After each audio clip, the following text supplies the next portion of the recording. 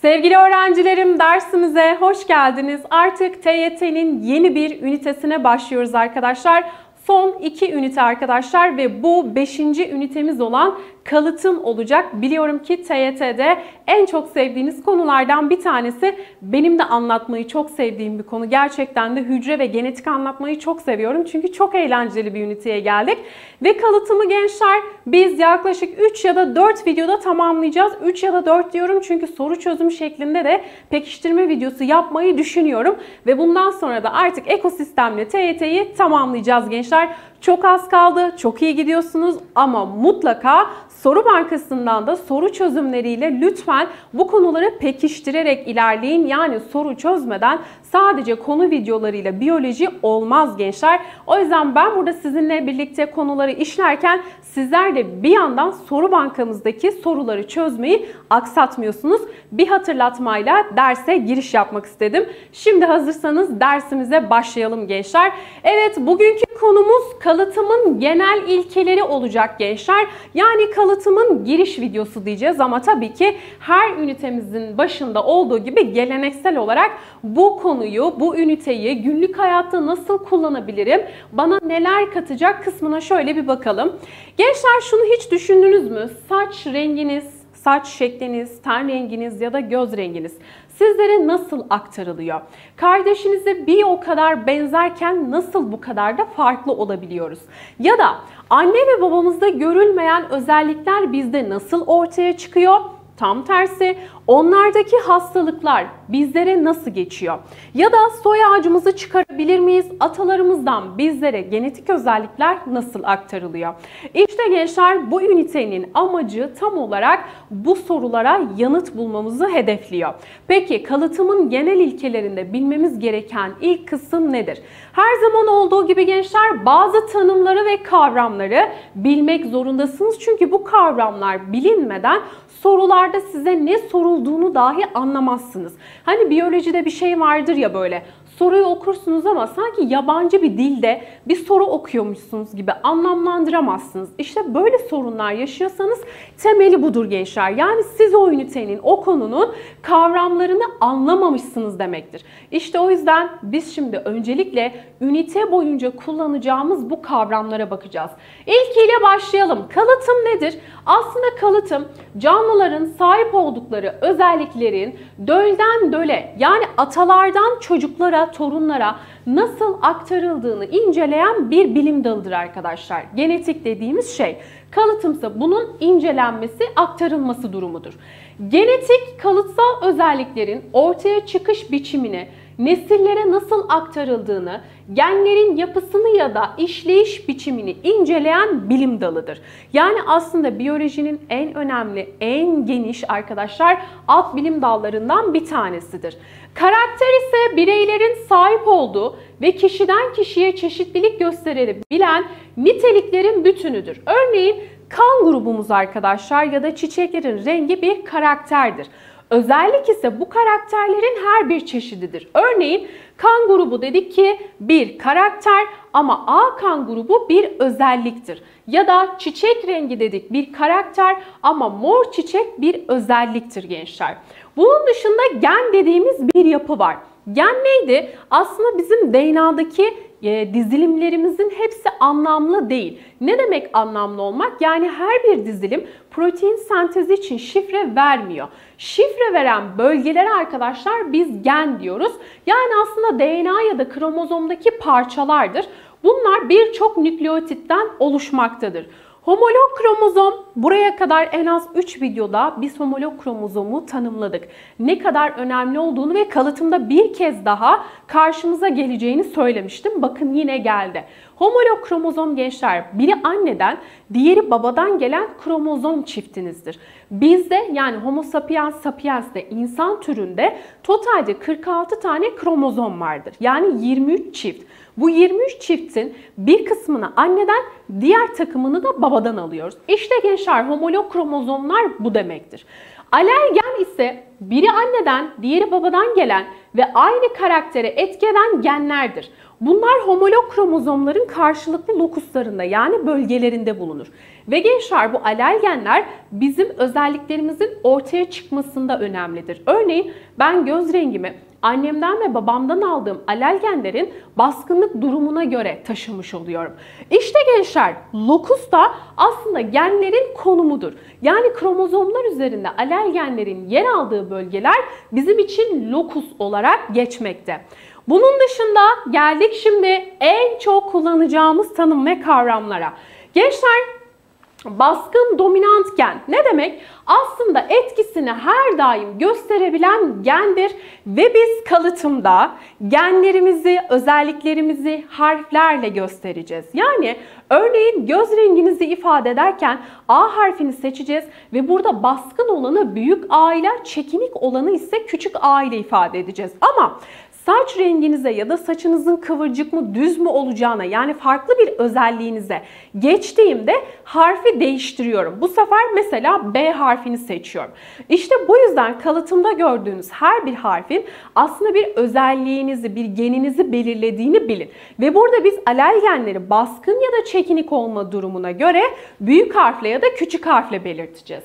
İşte gençler çekinik diğer ismiyle resesif gen de baskın gen olmadığı zaman ancak ortaya çıkabiliyor. Neden?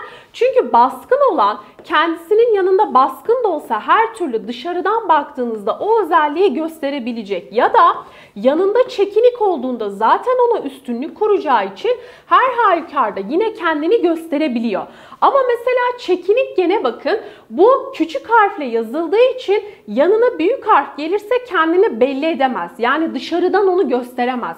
Bunun dışarıya yansıması için mecburen iki tane yan yana küçük harfin gelmesi gerekiyor. İşte çekinik yani resesif gen budur. Homozigot ve heterozigot ne demek? Gençler homozigot saf ya da diğer ismiyle arı döl demektir. Yani aleller birbirinin aynısı olması gerekiyor. Örneğin büyük A büyük A ya da küçük A küçük A. Bakın aleller birbirinin aynısı. Peki biz bunu nasıl okuyacağız? Artık biz bunu böyle büyük A küçük A diye okumuyoruz gençler. Bu tanımları öğrendikten sonra şöyle okuyacağız. Bu mesela homozigot baskın ya da dominant. Neden? Çünkü homozigot diyorum iki harfim de aynı. İkisi de büyük olduğu için dominant yani baskın diyorum. Eğer küçük a küçük a ise onu da homozigot çünkü ikisi de küçük a ve küçük olduğu için de çekinik diye okuyorum. Yani artık a a a a diye okumayacaksınız tamam mı? Homozigot dominant ya da homozigot e, resesif diye okuyacağız. Peki hocam bu aleller farklı olursa yani bir tane büyük bir tane de küçük harf görüyorsak işte biz o bireyi arkadaşlar heterozigot, melez ya da hibrit birey diyoruz gençler. Hibrit de aynı anlama geliyor. Zaten en çok onu kullanacağız. Bu zaten dümdüz heterozigot diye okunuyor. Mesela ben size heterozigot dediğimde aklınızda tek bir olasılık canlanıyor. Hocam büyük A küçük A heterozigot budur. Ama homozigot dediğimde sizin bana şunu sormanız gerekiyor. Hocam homozigot ama dominant mı, resesif mi? O yüzden gençler soruları çözerken heterozigot bireyler sizin için ipucu olacak. Bunları kaçırmayın. Genotip ve fenotip ne demek? Son tanımlarım. Genotip aslında bir canlının sahip olduğu bütün genlere verilen isimdir. Mesela işte benim göz rengim, işte saç rengim, ten rengim ya da saçımın kıvırcık mı düz mü olacağı gibi bütün genlerimi bu şekilde yazdığımda genotipim ortaya çıkıyor. Ama fenotip arkadaşlar hem genotipimin hem de dış çevrenin etkisiyle birlikte benim dış görünüşüm demektir. Örneğin bana baktığınızda diyorsunuz ki işte Zeliha Hoca'nın kahverengi gözleri var, kahverengi saçları var. Bunlar arkadaşlar benim fenotipim oluyor. Ama mesela benim göz rengim kahverengi ki insanlarda kahverengi göz renkli göze baskındır. Burada mesela genotipimi dışa bakarak e, çözemezsiniz. Hani şöyle bir şey diyemezsiniz. Zelacı'nın genotipi kesinlikle işte büyük A büyük A'dır ya da heterozigottur şeklinde söyleyemiyorsunuz. Çünkü genotipi bilmeniz için benim atalarımı ya da çocuklarımı incelemeniz gerekiyor ki bundan e, yorum yapabilirsiniz. O yüzden gençler fenotip dış görünüştür. Genotip ise benim bu dış görünüşümü sağlayan aslında genlerin bütünüdür diyoruz. Bu tahta gençler, bu notlar bilinmeden kesinlikle konuya devam etmiyorsunuz. Bu tanımları not aldınız ve bunları çalışıyorsunuz. Bu tanımlar oturmadığı sürece bu konudan soru çözebilmenizin ihtimali yok. Çok net söylüyorum. Çünkü sorularda sürekli bu şekilde anahtar kavramlarla soru gelecek. Bu kavramlar oturmadığı zaman şunu söyleyebilirsiniz. Hocam ben kalıtımdan soru çözemiyorum. Aslında kalıtımın en önemli dersi her zaman söylerim ilk derstir. Yani bu videodur. O yüzden bunu güzel dinliyorsunuz gençler. Şimdi geliyorum şu homolog kromozom muhabbetini, lokus muhabbetini, alelgen muhabbetini bir de şekil ve şema üzerinde görelim. Gençler ben buraya baktığımda ne görüyorum şimdi homolog kromozomlarda? Bir annemden gelmiş, bir de babamdan gelmiş ve aynı karakterlere, aynı özellikleri ortaya çıkarmak üzere aynı karaktere etki eden farklı özellikleri belirleyen ya da aynı özelliğe sebep olan alelgenler karşılıklı lokuslarda konumlanmış. Lokus ne demekti? Konum. Bakın mesela burada her bir harf sizin bir e, gen özelliğiniz, bir karakterinizi ifade ediyor. Annenizden ya da babanızdan gelenler birbirinin aynısı olabilir veya farklı da olabilir. Mesela anneniz çekinik, babanız da çekinik aktarmış olabilir. Ya da biri baskın, diğeri çekinik aktarmış olabilir. Ya da ikisi de baskın aktarmış olabilir. Yani bu tamamen bir olasılık. Ama nihayetinde homolog kromozomlara baktığınızda mesela burada sarı tohumu etkileyen bir e, gen var arkadaşlar. Ama bu genlerin çeşitliliği tabii ki anne babada farklılık gösterebilir. Bunlardan baskın olan size geçecektir. Eğer iki halal olma durumu varsa. Fenotip ise bakın dış görünüştür. İşte gençler bunlar bizim genotipimiz, bunlar ise fenotipimizi ifade etmekte. Yani homolog kromozom dediğinde arkadaşlar birinin anneden, diğerinin babadan gelen kromozom çifti olduğunu, aynı karaktere etki edecek alel genleri karşılıklı lokuslarında bulunduran iki adet kromozom aklınıza gelmesi gerekiyor. Ve homolog kromozomun hakkını verdikten sonra iki tane tanımı şöyle bir hatırlayalım. Adaptasyon neydi gençler? Canlının yaşadığı çevreye gösterdiği uyum yeteneğidir. Yani aslında bana sorsanız zeka nedir deseniz çok net bir tanımı vardır. Zeka bir canlının adaptasyon yeteneğidir. Yani değişen çevre koşullarına uyum yeteneğidir. Çünkü bu uyum ne kadar yüksekse hayatta kalma olasılığı da o kadar yüksektir. Zaten bir canlı hayatta kalamadıysa diğer bütün olasılıklarda arkadaşlar devre dışı kalıyor. O yüzden adaptasyon aslında canlının hayatta kalabilmesi için gösterdiği uyum yeteneğidir diyoruz. Bu konuda da karşımıza çokça geleceği için hatırlatmak istedim ki bir diğer tanımımda varyasyon olacak. Varyasyon tür içinde görülen kalıtsal çeşitliliktir. Örneğin bizim saç rengimizin ya da göz rengimizin birbirinden farklı olması varyasyondur. Doğa her zaman varyasyonu sever ve destekler arkadaşlar. Çünkü tek tip olmak demek tehlikeli demektir. Ufak bir çevre değişikliğinde bütün türün elenmesi demektir. O yüzden doğa her zaman tür içinde varyasyonu yani çeşitliliği destekler arkadaşlar. Ki mayoz da eşeğli üremede tamamen biliyorsunuz buna hizmet ediyordu. Önceki videolarımızda konuştuk. Şimdi gelelim kalıtım deyince, genetik deyince akla gelen o üstada yani bilim insanımıza. Arkadaşlar Mendel. Mendel biliyorsunuz kalıtımın babası olarak geçmekte. Kendisi normalde bir rahip ama kilisenin bahçesinde bezelyeleri çaprazlayarak genetik bilimini ortaya atıyor. İlk çalışmalarında yaşadığı dönemde hiç kimse ne yaptığını anlayamıyor. Birçok bilim insanı gibi ne yazık ki vefatından sonra kıymeti, yaptığı çalışmaların öncüllüğü anlanmış oluyor. Ve burada arkadaşlar Mendel'in yaptığı çalışmalarla birlikte biz kalıtımın genel ilkelerini anlayacağız.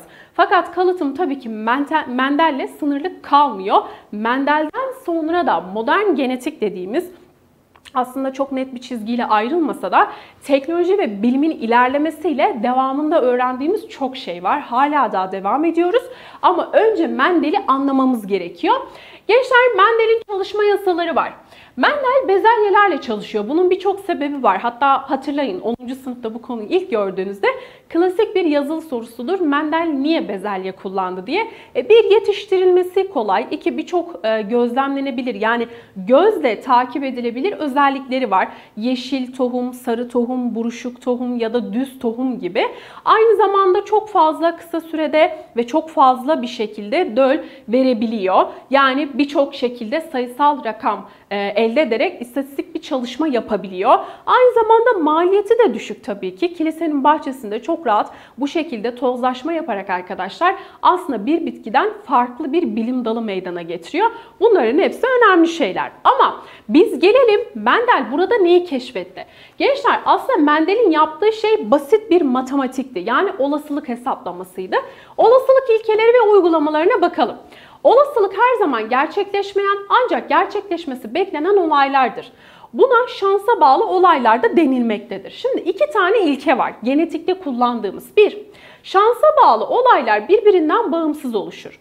Örneğin yeni doğan çocuğun kız ya da erkek olma olasılığı her zaman %50'dir. Mesela abinizin ya da ablanızın cinsiyeti sizin cinsiyetiniz üzerinde hiçbir etkisi yoktur.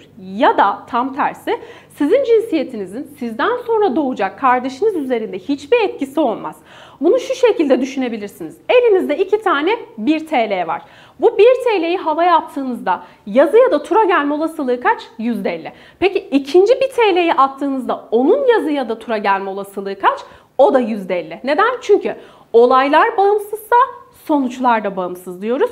Matematiğin olasılık kuralı.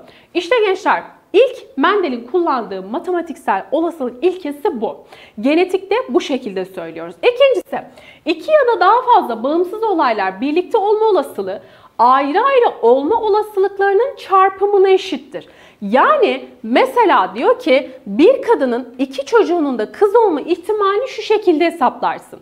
İlk çocuğun kız olma ihtimali kaç? %50. Peki ikincisinin? O da %50 hocam. Birbirlerini etkilemiyor. Peki iki çocuğun da kız olma ihtimali dediğimde 1 bölü 2 çarpı 1 bölü 2 yapmanız gerekiyor. Olasılık hesapladığınız için matematikte olduğu gibi çarpma işlemi kullanıyorsunuz, toplama işlemi değil. İşte bu iki temel kural bizi ünite boyunca arkadaşlar götürecek önemli bilgilerdi.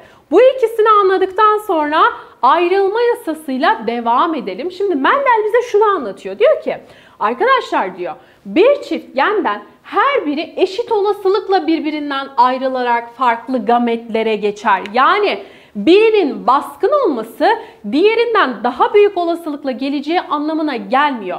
Baskın da çekinikte %50 ihtimalle diyor gametlere geçecektir. Ne demekti gamet gençler? Sperm ya da yumurta. Neden önemli bunlar? Çünkü biz gametlerimizi arkadaşlar oluştururken aslında yavrularımıza aktaracağımız özellikleri belirliyoruz. Yani benim bütün özelliklerim annemden aldığım yumurta gametiyle babamdan aldığım sperm gametinin taşıdığı genlerle belirleniyor. İşte diyor ki burada diyor mesela bezelyelerde sarı tohum ve yeşil tohuma baktığınızda sarı tohum yeşile baskındır. Baskın olduğu için biz sarı tohumu büyük aile, yeşili ise küçük aile ifade ediyoruz. Diyor ki Diyelim ki diyor homozigot baskın bir sarı tohum var elinde. Diğer tarafta da yeşil var. Yeşilin zaten homozigot olmamak dışında bir şansı yok çekinik olduğu için. Burada diyor büyük ağının gelme olasılığı ya da burada küçük ağının gametlere dağılma olasılığı her ikisi için de diyor %50 %50'dir. Oluşan gametler alelgenlerden sadece birini taşır. Çünkü anneden gelen yumurta bir tane, babadan gelen sperm bir tane getirecek ki sen de yine ikiye tamamlansın. İşte gençler buna biz ayrılma yasası diyoruz. Şimdi belirli bir özelliğin önceden tahmin edilen oranlarda ortaya çıkması gametlerin rastgele dağılımı ile ilgilidir. Bu nasıl oluyor? Mesela benim elimde heterozigot genler var. Diyelim ki bir karakter bakımından heterozigot bir birey. Burada arkadaşlar bakın büyük A'da gelmiş, küçük A'da gametlere dağılabilir. Bunların olasılığı nedir? 1 bölü 2, 1 bölü 2 ya da %50, %50. İşte bu rastgele dağılımla siz çocuklarınızda oluşabilecek ihtimalleri hesaplıyorsunuz veya iki karakteriniz olsun. Hocam nereden anladınız iki karakter olduğunu? Çünkü bak iki tane harf çeşidi var. Bir tanesi A harfi, diğeri ise B harfi. Bu ne demek? Atıyorum bu göz renginse örnek veriyorum bu saç rengini ifade etsin. Bunlar arkadaşlar yine dikkat ederseniz göz rengi ile saç renginin genlerinin bir araya gelme olasılığı da bağımsız dağılım yasasıyla hesaplanmakta. Bunların hepsinin arkadaşlar pratiğini yapacağız. Peki nasıl yapacağız? Gelin ilk hesaplama örneğimizle şöyle bir birlikte bu duruma bakalım. Şimdi homozigot durumdayken gamet çeşidi nasıl hesaplanır? Ne demek gamet çeşidi? Yani bir bireyde genlerin gametlere nasıl aktarılacağını yani çocuklarına hangi genlerini hangi olasılıkla aktaracağını hesaplayacağız tamam mı? Elimizde bir tane birey var gençler. Bakın bu homozigot. Nereden anladım? İkisi de aynı. Buraya bakıyorum. Burada da iki tane farklı karakter var ama bunlar da kendi içerisinde homozigot. Yani birbirinin aynısı. Şimdi bu bireye baktığımda bunun arkadaşlar gametlerinde %100 ihtimalle büyük A'yı yani baskın A'yı görüyorsunuz. Çünkü başka bir ihtimal yok. Buraya baktığınızda da arkadaşlar gametlerin %100'ünde büyük harfleri yani baskınları görüyorsunuz. Neden? Çünkü bu birey homozigot. Peki bu ya heterozigot olsaydı? Yani heterozigot durum ne demek arkadaşlar? Çeşitlilik var demek. İşte burada kullanacağımız bir formül var gençler. 2 üzeri n formülü. N yerine arkadaşlar siz o bireydeki heterozigot karakterlerin sayımını yapıyorsunuz. Yani heterozigot genlerin arkadaşlar sayımını yapıyorsunuz. O birey kaç tane heterozigot gen çeşidine sahipse onu yazıyorsunuz. Örneğin ilk örneğimize bakıyoruz. Bakın bir tane arkadaşlar karakter var. Yani bir tane heterozigotluk söz konusu. Biz Latince'de bire ne diyorduk? Mono diyorduk. Heterozigota da ne kullanıyorduk? Hibrit diyorduk. İşte bunu mono hibrit diye okuyacağız. Yani bir tane karakteri heterozigot. Bir tane olduğu için 2 üzeri 1 diyoruz. 2 üzeri 1 kaçtır gençler? 2'dir. Hemen kanıtlıyorum size. Bakın bu heterozigot bir birey arkadaşlar. Bu heterozigot bireyin çeşitliliği nasıl olabilir? 1. Ya büyük A aktaracak gametine 2. Ya da küçük A aktaracak. İşte gördüğünüz gibi iki çeşit var gençler. Bunun kanıtı buradan geliyor. Daha farklı bir örnek yapalım. İki karakter bakımından heterozigot olsun. Neden iki karakter dedim? Çünkü bir A harfi bir de B harfi çeşidi var. Yani burada mesela örnek veriyorum bize bir tanesi saç rengini diğer ise göz rengini ifade etsin. Gençler burada D2 demektir. Biz o yüzden bunu D hibrit yani iki karakter bakımından melez birey diye okuyoruz. Bunda da iki tane heterozigotluk olduğu için formülümde bu sefer 2 üzeri 2 yazıyorum gençler ve burada 4 çeşit oluşacağını söylüyorum. Hemen kanıtını yapıyorum. Şurada zaten A harfini yapmıştım. Bir tane de B harfi için yapalım. Burada da bir tane büyük B gelme olasılığı ya da küçük B gelme olasılığı oluyor. İşte gençler bu sefer 4 tane olduğu için diyoruz ki gamet çeşidi 4 tane olabilir veya bunu 3'e çıkardığınızı düşünün. Ama bakın bu sefer burada ne var? Çok güzel bir dikkat. Hemen buraya dikkatli dinliyorsun. 3 tane karakter görüyorum çünkü 3 harf çeşidi var. Ama 2 tanesi heterozigotkel, üçüncüsü homozigot olmuş. Bak ikisi de büyük C büyük C. Bu homozigotun benim için hiçbir anlamı yok. Bu ne demek biliyor musunuz? Elinizde bir tane bir TL var ama bu bir TL öyle bir para ki İki yüzü de tura ya da iki yüzü de yazı. Yani bir yüzü yazı, bir yüzü tura olan paralardan değil. Böyle olduğu için siz onu havaya attığınızda tura gelme olasılığı iki yüzü de aynıysa yüzde yüzdür. Yani olasılıkta birdir. Peki çarpmada arkadaşlar çarpım işlemlerinde birin bir önemi var mı? Yok değil mi? Neyle çarparsanız çarpın kendisini verir. O yüzden diyoruz ki homozigotların gamet hesaplamada hiçbir önemi yoktur. Göz ardı edilir. Sadece heterozigotlar hesaplanır. Burada 3 karakter olsa da ikisi heterozigot olduğu için 2 üzeri 2'den ben yine 4 çeşit gamet hesaplamış oluyorum. O yüzden homozigotlar bizim için hiç önemli değil. Size verilen karakterlerde sadece heterozigotları sayıp bulmanız gerekiyor gençler. Peki hocam bu hesaplamalar nasıl yapılacak, karşımıza nasıl gelecek? İşte mono hibrit çaprazlamayla başlıyorum. Mendel'in bize öğrettiği en önemli e, bilgilerdendir arkadaşlar. Mono hibrit ve dihibrit çaprazlama. Benim öğrencim artık kelimelerin kökenlerini bildiği için bunu çok rahat anlayacak. Hocam mono tek demekti. Hibrit de melez demekti. Yani aslında tek bir karakter bakımından melez olan birey demek istiyorsunuz. Örneğin A harfi bakımından melez ya da B harfi bakımından melez birey bu şekilde yazılır. Gençler biz çaprazlamalarda bazı kısa harfler kullanacağız. Bunların anlamını size söyleyeceğim. Mesela ebeveynlere parental döl yani kısaca P harfini kullanacağız. Yavrulara oğul döllere ise arkadaşlar F harfini kullanacağız. Monohibritin oranlarını ben size şu şekilde kısaca bir formül olarak dikkat kısmında verdim. Bunları birazdan size kanıtlayacağım. Ama bu ne demek şunu anlatayım size. Şimdi ebeveynleri çaprazladığımızda yani monohibrit iki ebeveyni çaprazladığımızda yavrularında göreceğiniz genotip çeşidi 3, genotip oranı ise 1, 2, 1 olarak gelecek. Fenotipte 2, oranda ise 3, 1 oranı göreceksiniz. Peki bunlar ne demek? Gelin şimdi size bunları anlatayım gençler.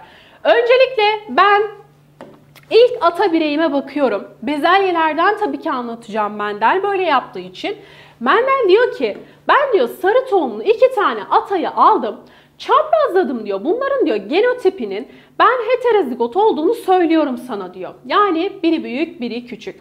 Şimdi bu heterozigot ata gametini oluştururken gametinden birine büyük, diğerini ise küçük aktaracak. Tabii ki karşısındaki de öyle yapacak. İşte şimdi ben ikinci ebeveynlerimi elde ederken yani bu gametlerin arkadaşlar çaprazlanma olasılığını bulduğumda elimde elde ettiğim şey şu. Bir tane homozigot baskın, iki tane heterozigot, bir tane ise homozigot çekinik elde ediyorum. Peki bunu nasıl yaptım? Hemen şu sağ tarafta sizin için yazarak göstereceğim. Bir, arkadaşlar iki tane mono hibrit birey yazmanızı istiyorum. Bak iki tane mono hibrit bireyi çaprazlayacağız. Tabii ki bunlardan bir tanesi dişi, diğeri de erkek ebeveyni ifade edecek. Şimdi mono hibrit ne demekti? Hocam mono tek demekti. Yani tek karakter. Yani bir tane harf seçeceğim. İkinci bir harf görmeyeceğim çünkü mono diyorum. Hocam hibrit dediğiniz için de bunun biri büyük biri küçük. Yani melez olmalı. Bak iki tane melez bireyimi yazdım. Bir karakter var. A karakteri artık bu hangi özelliğini etkileyecekse e, örnek veriyorum. Göz rengini ifade etsin mesela. Burada gençler bir tane dediği için bir harf yazdım. Hibrit dediği için melez yazdım. Dikkat edin. Şimdi bunu nasıl çaprazlıyorum? Size gösteriyorum. Bakın şunu kırmızıyla yapacağım. Burada arkadaşlar iki tane gamet oluşturma olasılığı olduğu için aslında her bir gameti bir diğer gametle eşleştireceğim. Mesela buradaki ilk bireyimin birinci gametiyle buradaki bireyimin ilk gametini birleştiriyorum. Ne geldi buradan? Büyük A büyük A olasılığı geldi. Hemen yazıyorum altına. Diyorum ki homozigot baskın. Bak altına yazıyorum karışmasın diye. Homozigot çünkü birbirinin aynısı ve baskın yani dominant geldi. Peki bu genotip değil mi? Gen genotip nasıl yazıldığını gösterir. Bunun fenotipi nasıl olur peki gençler? Hocam fenotip dış görünüştü. Peki büyük A büyük A ise dışarıdan bu birey nasıl görünecek? Büyük A. Yani buradaki sarı tohum gibi görünecek. Çünkü sarı tohum yeşile baskındı. Ben bunu en başında söyledim. İkincisini buluyorum şimdi. Bu sefer birinci bireyimin ikinci gametiyle diğerini arkadaşlar en baştakini tekrar eşleştiriyorum. Bu sefer ne geldi? Buradan küçük A ama buradan büyük A geldi. Baskın olan her zaman başa yazarız arkadaşlar. İşte ilk heterozigot bireyimi elde etmiş oldum. Ama bu heterozigot bireyin fenotipi arkadaşlar dışarıdan baktığınızda nasıl görünür? Baskın geni gösterdiği için, taşıdığı için dışarıdan yine baskın. Yani yine sarı tohum görünecek gençler. Üçüncü çaprazlamama geçiyorum. Bu ilk olduğu için bu kadar detaylı yapıyorum. Sonrasında bu iş inanılmaz pratiğe binecek gençler. Üçüncüsünde ne yapıyorum? Artık bu birinci gameti buradaki tüm olasılıklarla hesaplamış oldum mu? Oldum gençler. Burada ikinciye geçiyorum şimdi. İkinciyi aldım yine birinciyle ve son olarak onun ikincisiyle çaprazlıyorum. Şimdi geliyorum, yazıyorum. Bu sefer kırmızıları direkt yazdım. Yine bir heterozigot birey ve son olarak küçük a'ların da çaprazlamasıyla birlikte homozigot resesifimi elde ettim. Şu bireyim de heterozigot oldu ama bu homozigot, homozigot resesif olarak elde edildi. Bu birey yine dışarıdan sarı tohum yani baskın özelliği gösterirken bu birey arkadaşlar küçük a'yı taşıdığı için ikisinde de dışarıdan baktığınızda yeşil tohumu göstermiş olacak. İşte bu şekilde biz ne elde ettik arkadaşlar? Bir, çocukların olası genotiplerini hesapladık. İkincisi, oğul döllerin arkadaşlar fenotiplerini bulduk. Fenotip unutmayın dışarıya nasıl göründüğü, nasıl yansıttığıdır. Genotip ise yazılım biçimidir. Yani nasıl yazdığınızdır. Örneğin şu ilk üçüne bakar mısınız?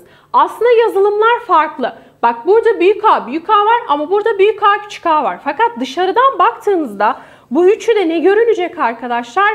Baskın görünecek. İşte biraz önceki oran tam da buradan geliyor. Diyor ki genotipe baktığında şu sarıyı hemen değiştireyim siz bunu göremiyorsunuz. Genotipe baktığında diyor sen büyük A büyük A gördün. Büyük A küçük A gördün. Bir de diyor küçük A küçük A elde ettin. 3 tane elde ettiğin için çeşidin 3 geliyor diyor. Ama bunun oranı nasıl yazılıyor biliyor musunuz? Büyük A büyük A'dan diyor bir tane elde ettin. Büyük A küçük A'dan iki tane elde ettin. Bak göstereyim hemen. Çok gittim. Geri geliyorum hemen. Heh. Bak şimdi büyük A küçük A'dan iki tane elde ettin diyor. O yüzden iki tane elde ettiğin için bunun oranına 2 yazıyorsun. Küçük a küçük a'dan da bir tane geldiği için onun oranına da 1 yazıyorsun. İşte oran dediğinde aslında o çeşitlerden kaçar tane geldiğini yazmanı istiyor. Biz de arkadaşlar bu şekilde yazıyoruz. Peki fenotip nasıl olacak? Fenotip dış görünüştü. Şu üç tanesi sarı olurken bir tanesi yeşil oldu. O yüzden diyoruz ki çeşide baktığında bir ya sarı ya da yeşil gelecek ama sarının gelme olasılığı 4'te 3, yeşilin gelme olasılığı ise 4'te 1. O yüzden fenotip oranı 3'e 1 olarak gelmiş oluyor gençler. İşte bu oranların mantığı buradan geliyor. Ama ne yaptık öncelikle? Çaprazlamamızı yapmış olduk. Şimdi geldim dihibrit çaprazlamaya. Dihibrit ne demek?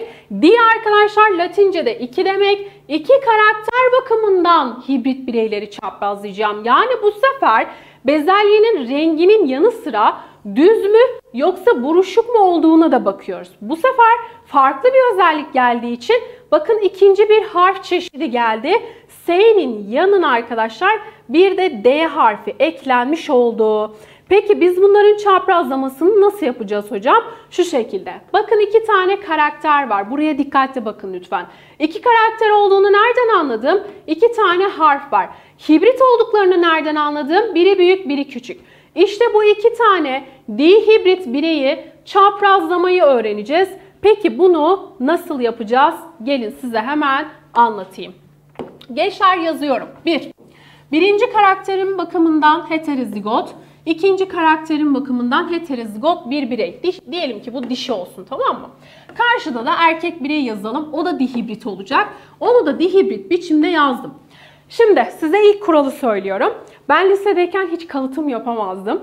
Neden yapamazdım biliyor musunuz? Çünkü burada çaprazlamada temelde bir kuralı kaçırırdım. Onu kaçırdıktan sonra da zaten çözemiyorsunuz.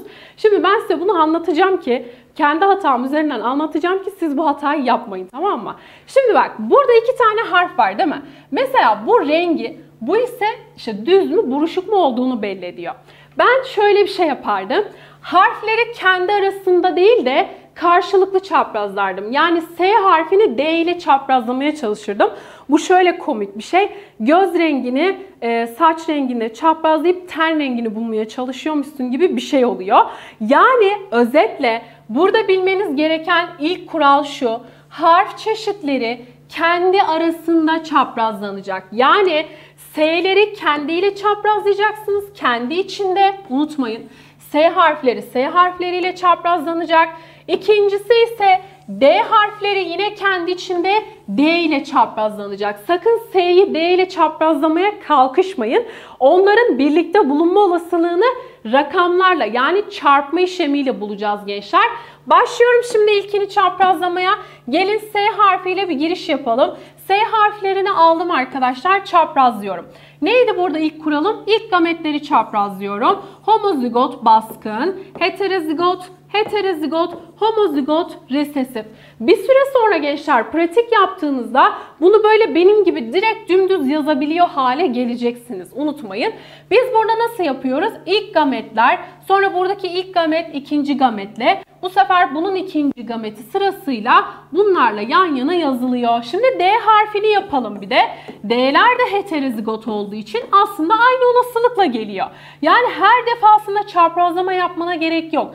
Zaten ikisi de heterozigotsa oran mecburen şöyle geliyor.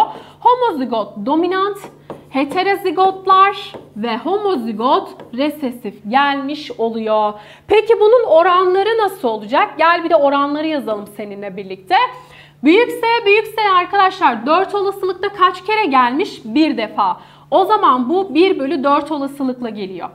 Peki büyük küçük S'ler yani heterozigotlar 4'te kaç ihtimalle gelmiş? 2 kere hocam. O zaman 2 bölü 4 yazıyorum. Mavi bu arada belli oluyor mu Selim Bey? Oluyor değil mi? Sıkıntı yok. Tamam. Şimdi küçük s'ye bakıyorum. Yani homozigot resesife bakıyorum. 4 olasılıkla bir kere gelmiş. Onun da arkadaşlar oranı 1 bölü 4. Aynı şekilde D'leri de yapıyorum. 1 bölü 4 olasılıkla homozigot dominant. 2 bölü 4 olasılıkla heterozigot ve 1 bölü 4 olasılıkla homozigot resesif gelmiş oldu. Peki hocam bana şunu sorsaydı mesela büyük S ile işte büyük D küçük D'nin birlikte bulunma olasılığını sorsaydı. Yani yeni oluşacak çocukta genotipin şöyle gelme olasılığını sorsaydı. Nasıl hesaplayacaktım? Çünkü siz bize dediniz ki harfleri kendi arasında çaprazlayın. Sakın S'leri D'lerle çaprazlamayın dediniz. Ama bana böyle sormuş. Bunu nasıl hesaplayacağım? İşte bunun hesaplaması şöyle oluyor. Ayrı ayrı oranları bulduktan sonra rakamları çaprazlayacaksınız. Mesela büyük S büyük S'nin gelme olasılığı kaçtı? 1 bölü 4. Yazıyorum altına 1 bölü 4. Çarpı, buradaki çarpıya dikkat et. Birçok öğrenci toplama yapınca burada kaçırıyor çünkü. D'ye bakıyorum homozigot dominant da yine oranı 1 bölü 4. O zaman onu da yazıyorum 1 bölü 4 diye. Ve bu iki gametin arkadaşlar oluşması iki tane baskın gameti homozigot dominant taşıyan gametin oluşma olasılığı 1 bölü 16 olarak elde edilmiş oluyor. İşte hesaplamalar böyle yapılacak. Yani birinci kural ne? Harfleri kendi arasında çaprazla, oranlarını yaz. Eğer sana harfleri birlikte soruyorsa bu şekilde oranlarını çaprazlayacaksın. Harfleri değil. S'ler D'lerle, A'lar B'lerle çaprazlanmaz. A'lar A'larla, B'ler B'lerle yani aynı aleller birbirleriyle çaprazlanacak. Dihibritin ilk kuralı budur gençler. Şimdi bunun oranını veriyorum size gençler. Şu tahtayı hemen şuradan silelim çünkü göremeyeceksiniz böyle. Burada dihibritte genotip çeşidi 9 gelir. Ne demekti genotip arkadaşlar? Yazılım değil mi? Yani oradaki gördüğünüz büyük S'ler, küçük S'ler ya da heterozigotlar ya da aynı şekilde büyük D'ler, heterozigot D'ler ya da küçük D'ler. 3 olasılık buradan geliyor. 3 olasılık da buradan. Totalde çarpım olarak arkadaşlar 9 çeşit görüyoruz. Bunun oranını çok sormazlar ama 1-2-1'in 1-2-1 ile çarpımıdır gençler. Fenotip ise dış yansımadır. Neden 4 çeşit geliyor? Diyor ki bir özellik bakımından baskın, Diğer özellik bakımından da baskın olabilir ya da birinde baskın diğerinde çekinik olabilir diyor. Buradan da 4 olasılık geliyor. Bunun oranı da 9-3-3-1'dir. Yani iki karakter bakımından baskın olma olasılığı 9. Heterozigotların arkadaşlar 3-3. Çekinik olması ise yani hem S harfi bakımından e, çekinik olanı dışarı yansıtma hem de D karakteri bakımından çekinik olanı yansıtma olasılığı oran olarak arkadaşlar 1'i getirmiş oluyor. Yani 16'da bir ihtimal demek istiyor size burada. İşte gençler dihibritin oranı da bu şekilde karşınıza gelecek. Peki şimdi birkaç pratikle bu konuyu tamamlayalım.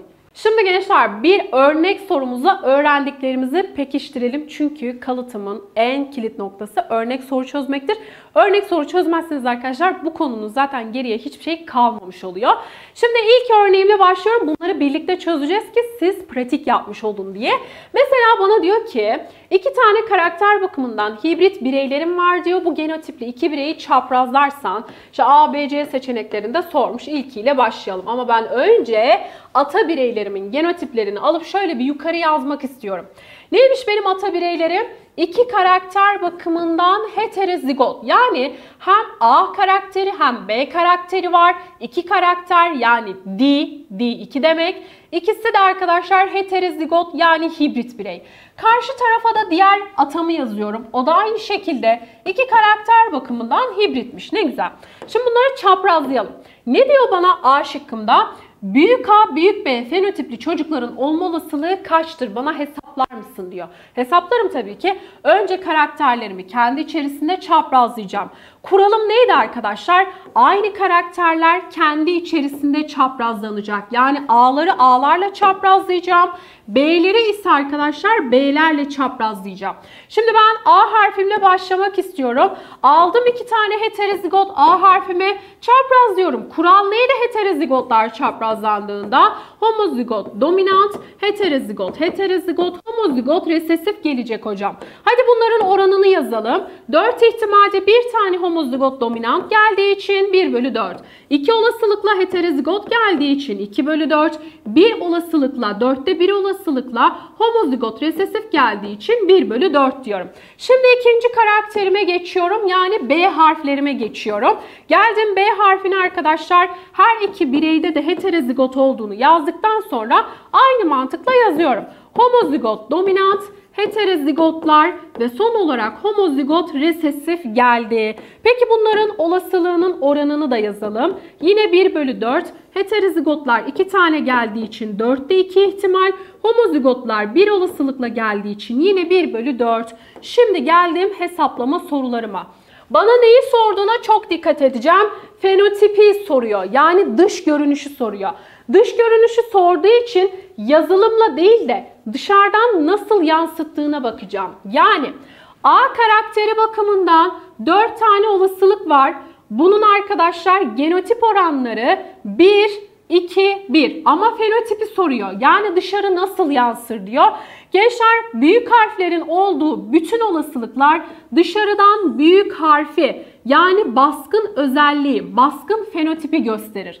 Bu garibim ise zaten kendini belli etmek için yine kendisi gibi bir çekinikle eşlenmesi gerekiyor. Yani bir olasılıkla arkadaşlar küçük a fenotipini gösteriyor. B harfi için de aynı kural geçerli. Buradaki 3 olasılıkta dışarıdan büyük B fenotipini, bir olasılıkla küçük B fenotipini görebilirsiniz.